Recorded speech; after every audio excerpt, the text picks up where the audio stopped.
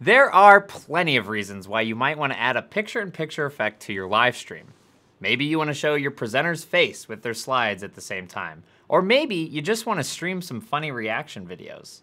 In this video, I'll be showing you how to add picture-in-picture to your live stream using OBS and BoxCast. Let's dive right in.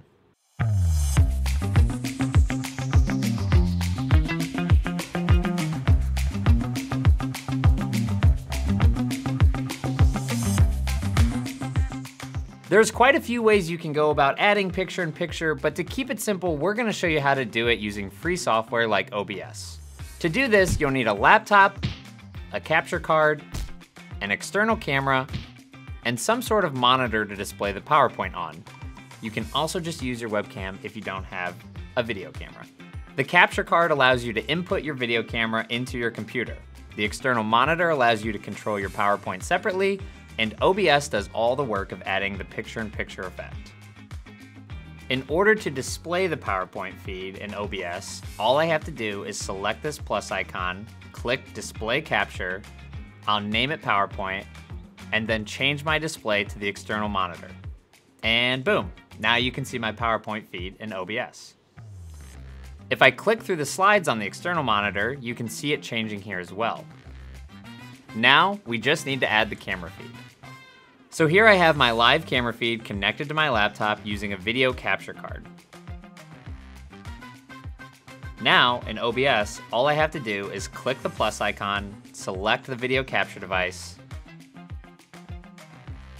and boom, there's my live camera feed.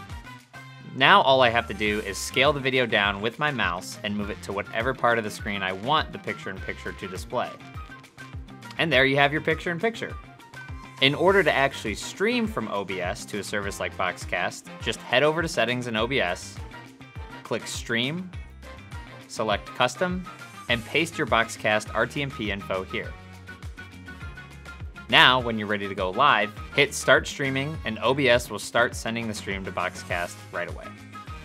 And if you're not sure where to find that RTMP code, no worries. Just head over to the BoxCast dashboard click Sources, then add a source, and you'll see the option for OBS pop up right away. And this is where you can get the stream key and server URL to paste into OBS.